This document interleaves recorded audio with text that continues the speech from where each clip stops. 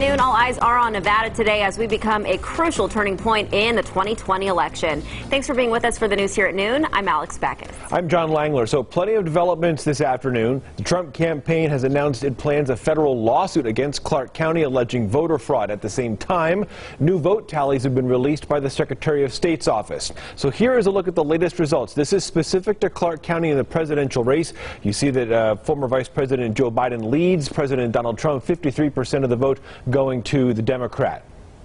That's in Clark County. Here's a look statewide. You can see Joe Biden ahead uh, ahead of President Donald Trump, 604,000 votes to 592. Those are the latest results today. We don't expect another update until tomorrow.